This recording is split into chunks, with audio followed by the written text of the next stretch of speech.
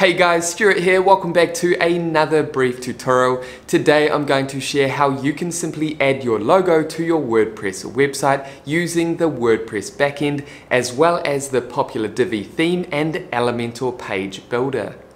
Okay, so before we launch into this brief tutorial, consider subscribing if you haven't done so already, or if you're new to this channel, and that way you'll stay updated with actionable videos and tutorials designed to equip you with the skills, knowledge, and tools to help your small business thrive online. And with that quick note out the way, let's go ahead and add your logo to your WordPress website using these three methods.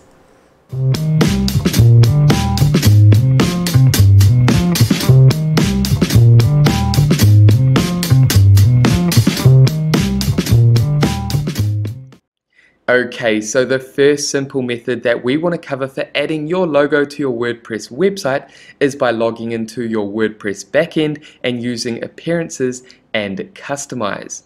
Okay, so once you've logged into your WordPress website, simply navigate over to appearance and then navigate over to customize. And under customize, this is where you can customize your website theme. So for example, if we navigate up to site identity, this is where we can simply add our logo to our primary menu in our website. At the moment you can see we have a blank logo. We currently do not have a logo for this website. Now to add a logo, simply navigate over to logo and click select logo. Then go ahead and click upload files. Then simply navigate down to select files and then simply locate the logo that you want to add to your primary menu on your website. Then come down and click select.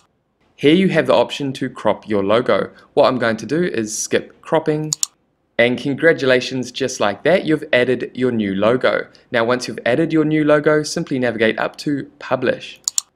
And just like that, your new logo has now been published onto your live website. So what we're going to do now is exit back to our dashboard now, just quickly before we dive into the next method, if you do not currently have a logo for your website or for your business brand, then what I'll do is link a beginner's tutorial up above and down below in the description that will guide you through the process of creating your own logo completely for free using Canva, which is a completely free design tool. So again, if you currently do not have a logo for your business, go ahead and use Canva to create your own logo. Now back inside your WordPress dashboard, the second method for adding your logo to your WordPress website is by using the Elementor Page Builder plugin. Now Elementor makes it extremely easy for you to build your website from the front end, which is ideal for beginners that don't have any technical experience or web designing experience. You can simply use the Elementor page builder to drag and drop different elements to create your website. You can also simply access pre-made professional page templates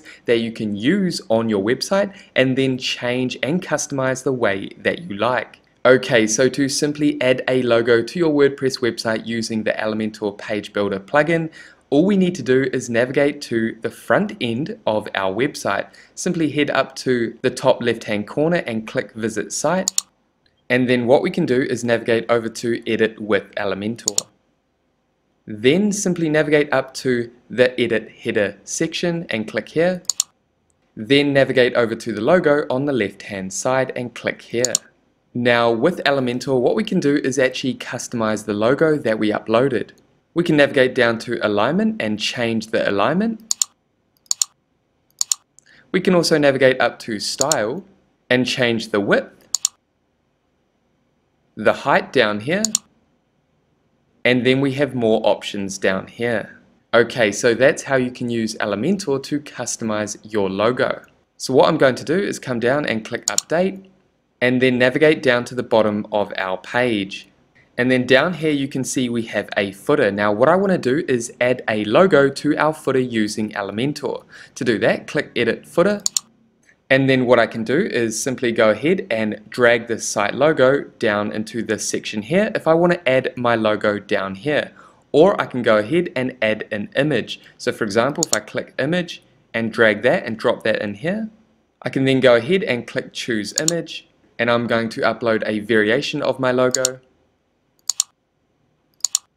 and then click insert media And as you can see, I've added my logo to my footer. Now what I can do is navigate up to Style and then change the sizing of this logo.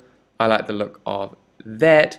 I can also navigate back to Content and then change the alignment if I like. And then when you've made any changes, simply come down and click Update. And that is how you can add your logo to your footer as well as customize the logo in both your header and footer of your website. Now remember, if you make any changes in your footer as well as in your header, those are going to show on every page of your website. Okay, so now what I'm going to do is log into another website where I have the Divi theme enabled and I'm going to quickly show you how to upload your logo to WordPress using the Divi theme. Okay, so to upload a logo to your WordPress website using Divi, simply navigate down to the left hand side and locate Divi and then simply navigate over to logo and click upload to upload your logo. Then click on your logo and come down and click set as logo. And then all you need to do is click save changes. And again, Divi is a premium theme that you can install onto your WordPress website that allows you to simply use the Divi visual drag and drop builder to build your website pages with absolute ease. Now, if you currently do not use Divi or Elementor, what I'll do is link a few videos down below that you can check out to help you understand how you can leverage the Divi theme as well as the Elementor page builder to simply create your WordPress website. Okay, so what I'm going to do is go ahead and check out my logo. And here you can see our logo that we uploaded to the Divi theme. Now what I can also do is head back to our dashboard and then navigate down to Appearance and then click on Customize and then navigate up to Header and Navigation then click on Primary Menu Bar. This is where we can customize the size of our logo. And again, once you've made any changes, simply click Publish. And just like that, you now know how to simply add your logo to your WordPress website using the WordPress Customizer, the Divi theme, and the Elementor Page Builder plugin. And there we have it, that is it for today's tutorial, helping you add your logo to your WordPress website. Now, if you have any questions about this tutorial, make sure to pop them down below. And with that said, thank you so much for watching this tutorial all the way through to the end. If you got value, make sure you leave a like and subscribe to this channel. And that way, I'll see you in the next video. Take care, guys.